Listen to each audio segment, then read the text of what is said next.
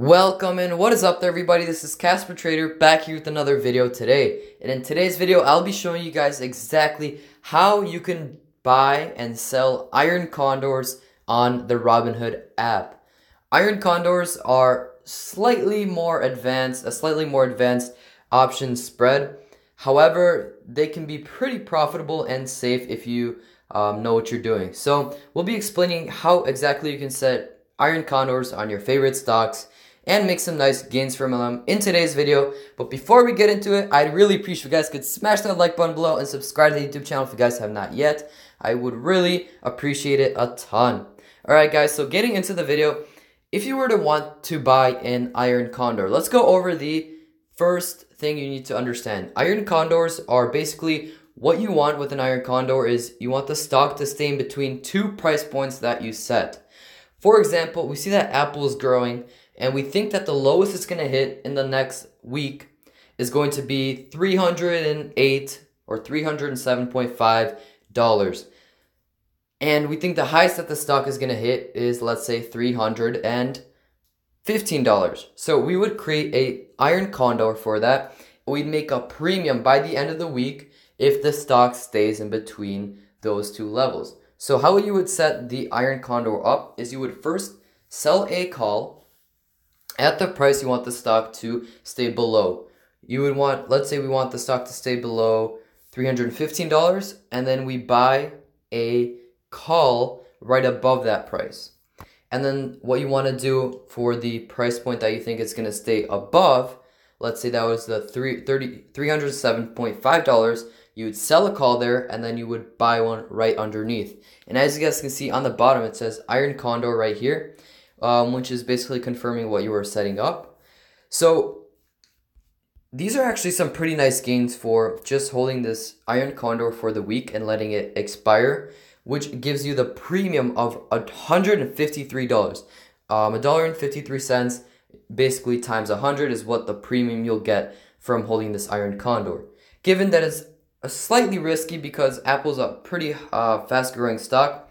If you were want to edit this, uh, make it a little bit more safe, what you could do with your spread to make it safer, however, if you do go safer, you will make a less of a premium, is you would select a price that's a little bit higher than what you think it'll hit at the most.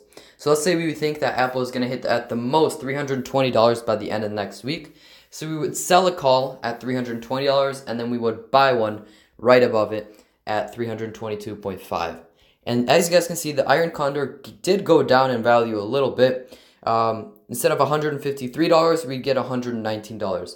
But it's definitely up to you how much you want to risk, what your risk to reward, what you want your risk to reward ratio to be.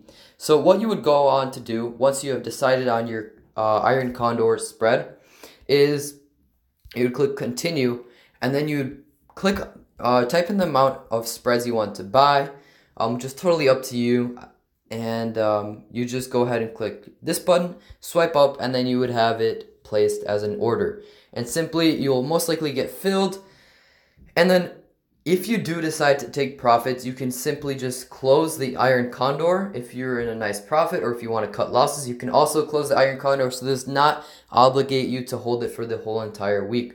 That's the nice thing with Iron Condors and options and just stocks in general. You don't have to hold for a set amount of time like some CDs and banks are. Uh, pretty weird comparison, but uh, that's just what popped into my mind. So yeah, that is how you set an Iron Condor.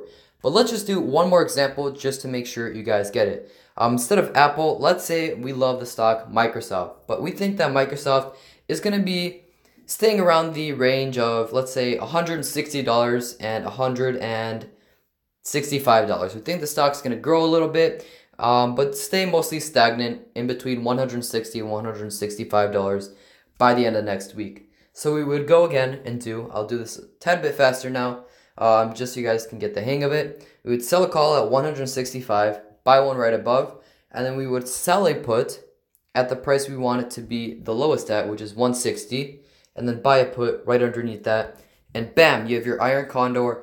If it expires in between those two price points, you would gain a nice $72. So, yeah, you just go ahead and type in how many you want, swipe up, and then the order would be on its way to get filled.